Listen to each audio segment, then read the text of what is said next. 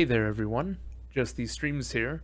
I just wanted to quickly share a quick tip about how to unlock your Windows 10 from a 30 FPS refresh rate to a 60 FPS refresh rate.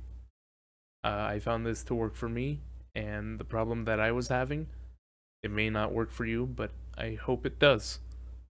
So first you want to right click on your desktop and then you want to go down to display settings and click on it. Once you're here, you want to scroll down until you see advanced display settings. Once you click on that, you'll be greeted with this screen right here. Right now, it's currently displaying my second monitor options.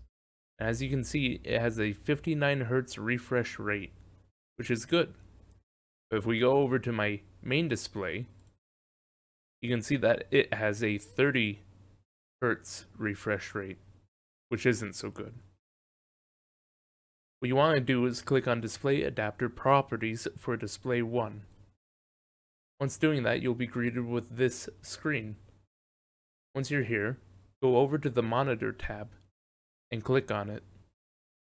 Right here you can see the screen refresh rate for monitor settings. What you want to do is click on it and simply go down to 60 Hz and choose that. Once you're done, you'll probably want to push apply.